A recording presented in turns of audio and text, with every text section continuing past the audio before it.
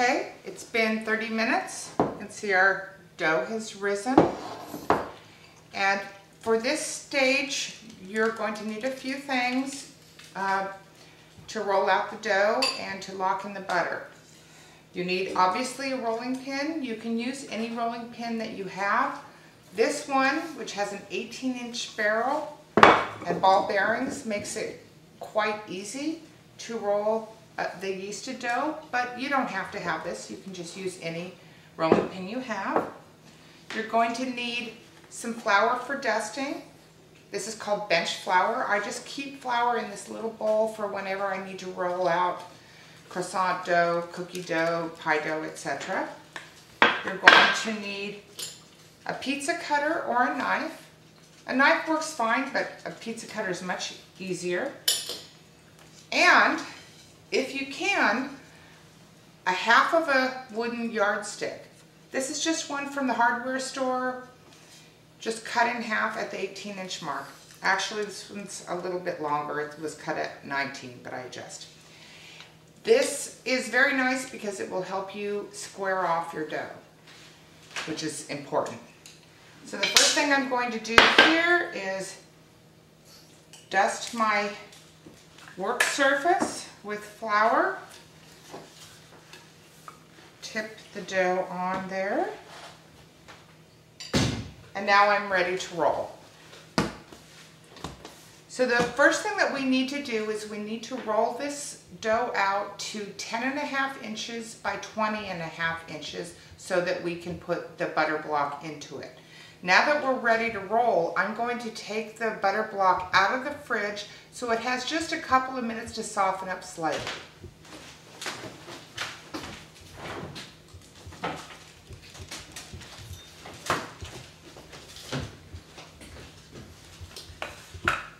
And now here we go to roll. Start from the center, move out. Don't try to go the whole way. After you've rolled it a bit, check to see if you need any more flour. You really don't want this to stick, but you don't want to go crazy with a lot of extra flour either. You can also sprinkle a little on top if you need to.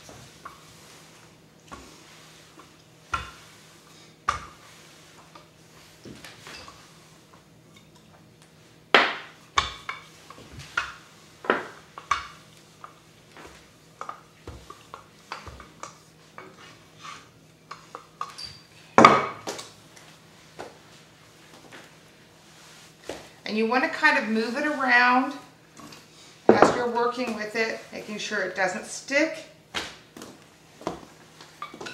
And then periodically you want to measure it. So right now I'm a little over on this direction. I'm at 12 inches, but I'm only at 18 inches this way. So I'm going to kind of square it off, bring it in with my ruler here. And see how it kind of dips here? You can gently pull it out with your hands to try to square it up.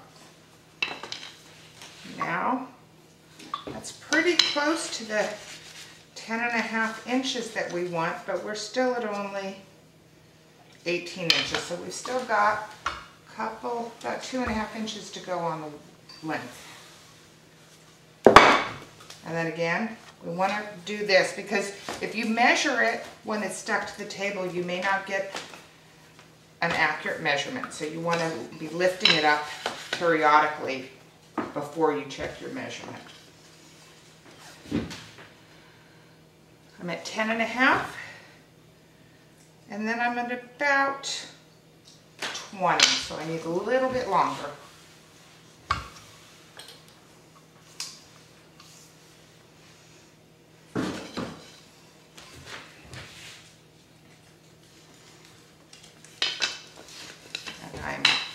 Squaring it off.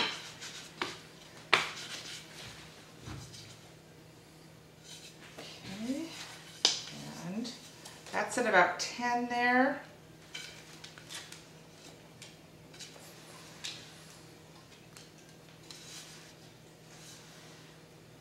Now it's a little bit long in this direction, so we'll kind of push it back this way. Get it just a little bit this way.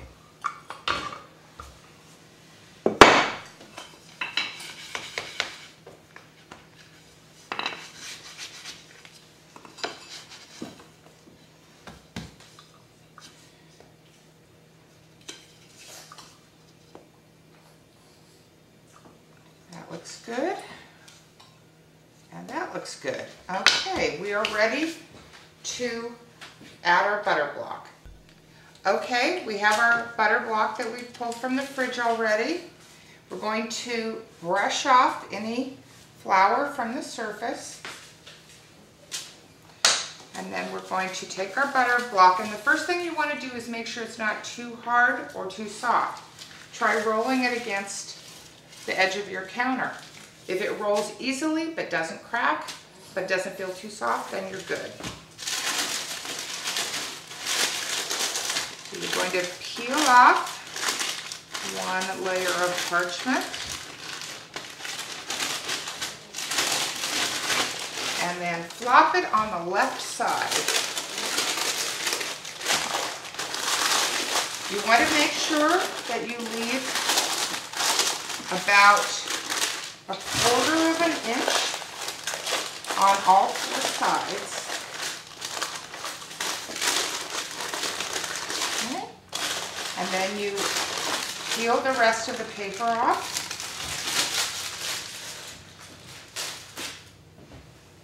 Okay. All right, now we're going to flip the other side over the butter. Kind of stretch it so that we can get a seam and pinch on all, all on the open sides so that we seal that butter into that dough. You don't want that butter coming out as you're rolling.